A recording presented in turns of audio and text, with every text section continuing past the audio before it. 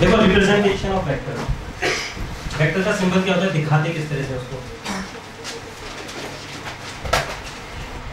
ठीक है representation of vector है आप किस तरह से हम दिखाते हैं वेक्टर को?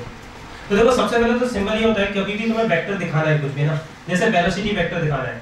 तो मैं v करता हूँ और इसके ऊपर क्या लगा दूँगा? एक एरो तो ये वेक्टर का रिप्रेजेंटेशन हो गया।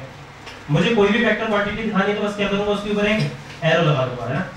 ये मेरा रिप्रेजेंटेशन है या फिर कुछ बुक्स क्या करती हैं? उसको बोल्ड कर देती हैं। जैसे रोड अवे उसमें एरो नहीं दिखेगा तुम्हें। क्या कर देंगे? उस लेटर को बोल्ड कर देंगे। तो जितने भी बोल्ड लेटर्स होंगे, वो तुम्हारे क्या होंगे? वेक्टर्स होंगे ना? ये समझ गए अब ये तो तुमने पूरा वेक्टर दिखा दिया।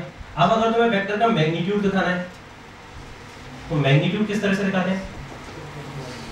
अच्छा तुम लोग पैरेलली लिखते हुए चल रहे हैं ना, जो भी लिखना है। किस तरह से दिखाते हैं? अगर मुझे वेलोसिटी वेक्टर का मैग्नीट्यूड दिखाना है तो वो कैसे दिखाऊँगा? है ना? या तो क्या करता हूँ? दो तरीके होते हैं। या तो वेक्टर के आगे मॉड लगा दो, या फिर क्या करूँगा? ऊपर से एरो उठा दो। दोनों ही तरीके सही है। में जैसे मैं बोल रहा हूँ, अगर मैं बोलूँ कि वेलोसिटी वेक्टर है मेरा three metre per second in north direction से इन नॉर्थ में मुझे इसका मैग्नीट्यूड लिखना है। तो दो तरीके या तो ऐसे लिखूँगा, या फिर सिर्फ़ ऐसे लिख दूँगा। दोनों ही सही है। अब इसके साथ मैं ये नहीं बताऊँगा उसका डायरेक्शन क्या है। ना बताने की ज़रूरत नहीं मैं सिर्फ़ मैग्नीट्यूड लिख रहा हूँ उसका। ठीक है? हाँ ठीक है, ये तो हमारा पता नोटेशन हो गया है ना। लेटर्स को किस तरह से लगाते हैं। अब ग्राफिकली हम किस तरह से डिनोट करते हैं। मैं कुछ ऐसा तरीका चाहता हूँ जैसे हमारा वेक्टर होता है वेक्टर में दो, दोनों चीज़ें इंपॉर्टेंट है मैग्नीट्यूड और डायरेक्शन दोनों ही इंपॉर्टेंट है वेक्टर के लिए। तो अगर मुझे कभी भी वेक्टर को रिप्रेजेंट करना है तो दोनों चीज़ें साथ में दिखानी पड़ेंगी। तभी पूरी की पूरी इंफॉर्मेशन होगी ना? तो इसका एक ग्राफिकल रिप्रेजेंटेशन होता है। तो देखो, हम क्या करते हैं? वेक्टर को एक एरो से दिखाते हैं। एक एरो बना देते हैं, जैसे मैंने एक रैंडम एरो बना दिया, ये। अब वेक्टर के पास कितनी चीज़ें हैं? दो। तो वेक्टर का डायरेक्शन ऑफ़ वेक्टर क्या होगा भाई? बताओ।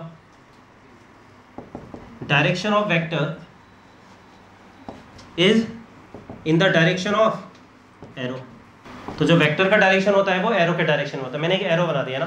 तो इस एरो का जो डायरेक्शन होगा, वही क्या होगा मेरे वेक्टर का डायरेक्शन होगा। तो डायरेक्शन वाली इंफॉर्मेशन मैंने कन्वे कर दी।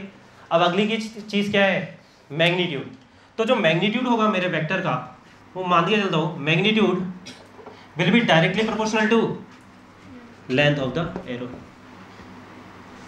जैसे मान लो एग्ज़ाम्पल के लिए मेरे पास दो दो वेक्टर्स हैं ना, उनको रिप्रेजेंट करना है। एक मेरे पास वेलोसिटी है, से मैं कह रहा हूँ वेलोसिटी है किसी की one metre per second in north direction दूसरा मैं रहा हूँ किसी और पार्टिकल की वेलोसिटी है two metre per second in east direction अब थोड़ा बहुत पता है ना। नॉर्थ ईस्ट तो वी वन वैक्टर को मैं कैसे दिखाऊँगा? अगर मैं वी वन वैक्टर को नॉर्थ डायरेक्शन में ना तो वी वन वैक्टर को अगर मैं इस तरह से दिखा रहा हूँ, है ना तो ये नॉर्थ में गया ये डायरेक्शन पता चल गया। अब इस लेंथ का मतलब क्या हो गया? वन मीटर पर सेकेंड तो अब अगर मुझे टू मीटर पर सेकेंड दिखाना है तो मेरी लेंथ अगले वेक्टर की क्या होनी चाहिए इससे? डबल होनी चाहिए। ये मेरा क्या हो गया? डी टू वैक्टर इसकी लेंथ डबल है इसका मतलब है कि इसका मैग्नीट्यूड इस वाले से डबल होगा। क्लियर है क्या? ठीक है लिखो जल्दी से।